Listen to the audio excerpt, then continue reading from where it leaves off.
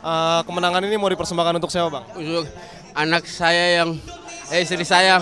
Istri saya yang masih dalam kandungan. Berkat anda anda luar biasa istriku.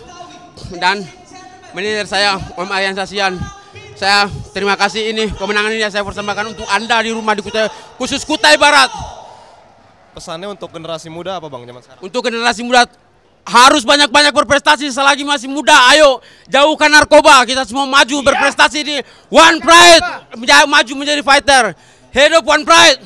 Harapannya untuk One Pride Pro Never Quit? Terus berjaya. One Pride Arena memang mantap. Belum ada acara sebesar ini. Terima kasih One Pride. Anda berjasa untuk semua-semua anak-anak muda di Indonesia. Terima kasih One Pride.